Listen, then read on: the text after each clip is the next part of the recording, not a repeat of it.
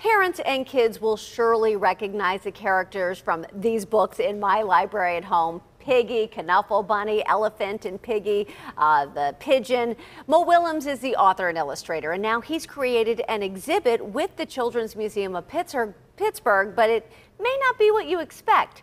I had fun exploring it with Mo Willems himself for today's Kidsburgh. Colors and shapes pop out from everywhere in three dimensional building blocks, two dimensional drawings with stencils, doodles transformed by technology, and in large scale paintings encircling it all by author and artist Mo Willems. Very seldom do you get to play with the original art right there. This exhibit, Opposites Abstract, is inspired by Willems' new book of the same name, featuring his paired paintings that each ask a question.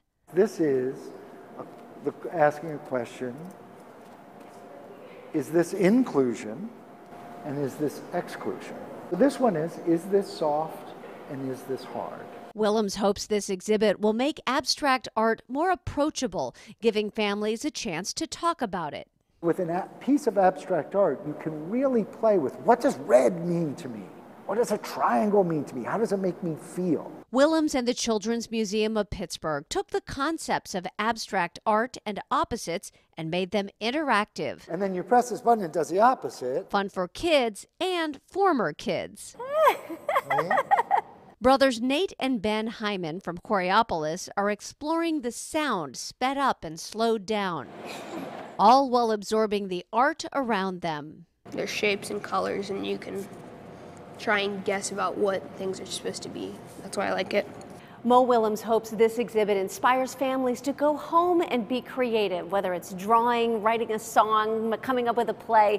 And he says it all starts with the parents or caregiver. When a parent asks, why is my kid not drawing or making art or being creative? The question I first ask is, when are you doing it? If you're drawing and creating and laughing and enjoying that activity, it becomes cool, and the kids are going to want to do it with you.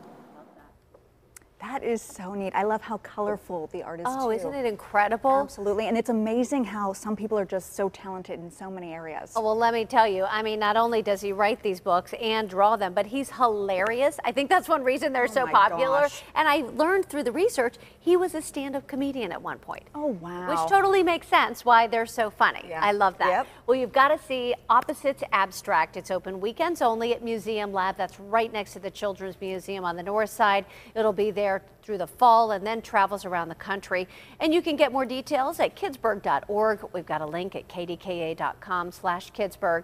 And check out my full interview with Mo Willems. That's streaming on CBS, Pitts, CBS News Pittsburgh tonight at 8.